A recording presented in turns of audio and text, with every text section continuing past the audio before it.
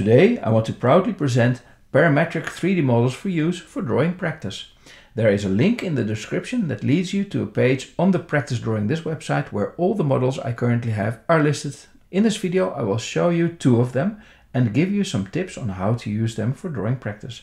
The first one I call the Stacked Cubes Parametric Model. I got the idea for this while doing Wouter Tulp's amazing Fundamentals of Expressive Character Design course on Schoolism. If you open the stacked boxes page on my website, you are presented with a set of boxes stacked randomly in all directions. You can rotate, pan and zoom the view. You can also change how the blocks are stacked by clicking on the change icon.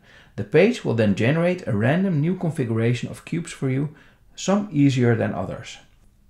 Some tips. When you begin or if you haven't done this in a while, it can take some time to really get into it so stick with it for a while. Don't give up too easily, it gets easier.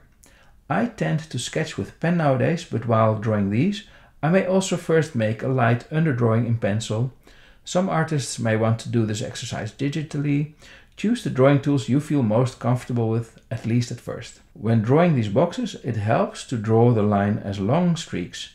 If an edge continues from one box to the next, it looks good if you draw it as one confident long straight line.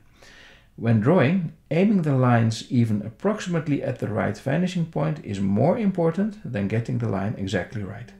Making the lines go to the right vanishing point is more important for the believability of your drawing than getting the angles of the line exactly right. It is important to develop a sense for where you have to be accurate and where you can freewheel a bit. It is a good idea to exaggerate the perspective because it is more fun as accuracy becomes less important. It also forces you to choose vanishing points.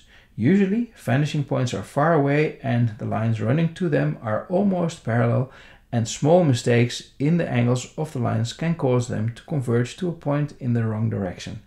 And it just looks off. By placing the vanishing point nearer, it is clearer which vanishing points you choose. You'll find that when you exaggerate perspective, the model becomes more dynamic and fun to look at.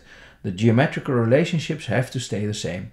As long as the lines converge to the right vanishing point, the drawing looks believable. Do try to freehand draw. It is more fun, for me at least, I don't like working with a ruler. An advanced drawing exercise is to imagine what something looks like from another angle. You can then draw it and rotate the model to verify your drawing. The second model consists of two boxes that represent the chest and the hip of the human torso. Each time you request a new configuration of the boxes, they will be oriented differently relative to each other, presenting dynamic poses of the torso. The same tips mentioned before hold for this model also. It is fun to add more to this simplified model. You can add cylinders to suggest arms, neck and head, legs, and if you can draw more or less simplified chests and hips into the respective uh, boxes. When you get the hang of it and start to get bored with it, then do stop this exercise. Hard practice has its use, but you should also make sure you have fun with it.